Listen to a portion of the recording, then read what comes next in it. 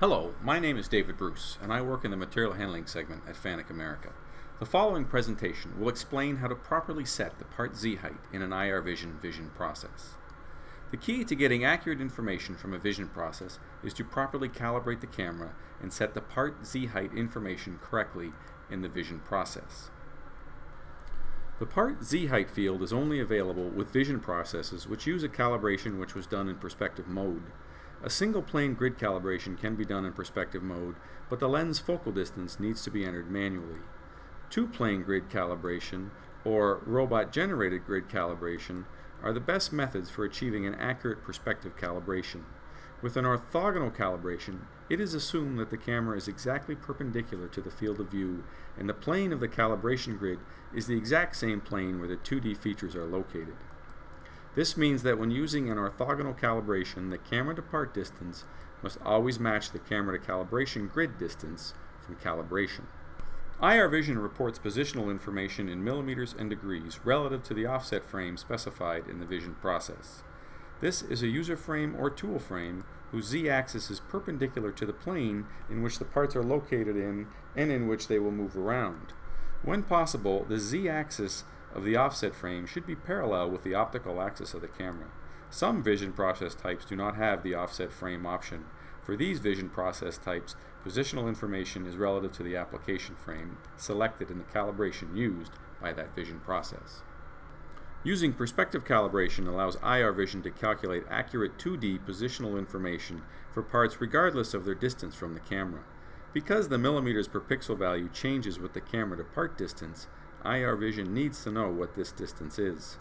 IR Vision calculates the camera to part distance by knowing the camera position, which is discovered during calibration, the current position of the offset frame, and the part Z height, which is entered by the user.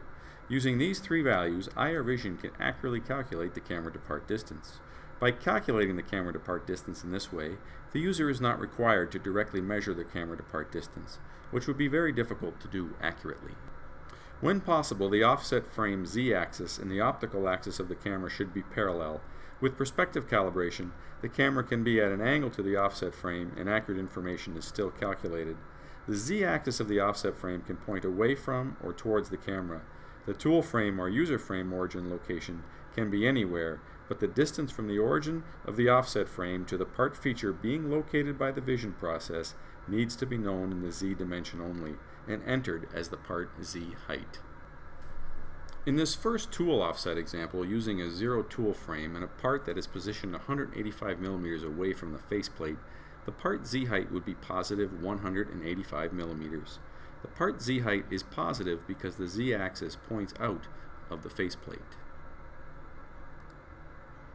In this second tool offset example, the tool frame origin is moved to some random location and the orientation of the tool frame is changed such that the z-axis points up. The part z height for this case is negative 65 millimeters. Negative because the z-axis points up and the feature is located below the TCP.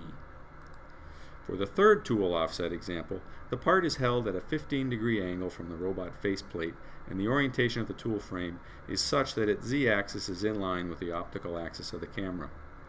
The correct part z height for this example is positive 22.2 millimeters because the tool frame origin is located 22.2 millimeters below the feature being located and the z-axis points up to the camera.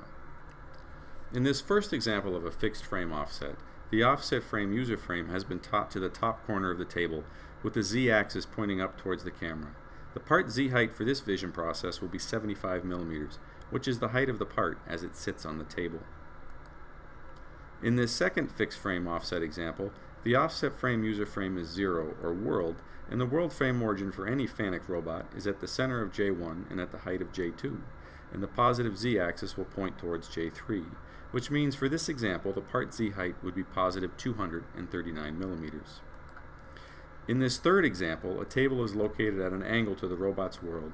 The camera is located perpendicular to that table, and the offset frame has been taught to the corner of the table, with its orientation aligned with the table.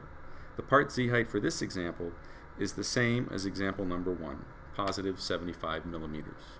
In this last fixed frame example, I want to illustrate that while as a general rule the offset frame z-axis should be parallel to the optical axis of the camera, With some applications, it is simply not possible to have the camera normal to the offset frame. With a perspective calibration, accurate positional information is still obtained for a camera that is at an angle to the offset frame. In this example, the offset frame z-axis is perpendicular to the table. The part z height for this example is positive 75 millimeters. It is not possible to use an orthogonal calibration for a camera which is not normal to its offset frame. In conclusion, the key factors to remember are the offset frame user frame or tool frame should represent the plane in which the parts are going to move around. Whenever possible, the camera should be positioned such that its optical axis is parallel with the z-axis of the offset frame. The part z height can be a negative value if the part feature is located in the negative z direction of the offset frame. An inaccurate part z height will cause issues with overall vision-guided performance. Thank you very much for watching this IR Vision tutorial on how to properly set the part z height.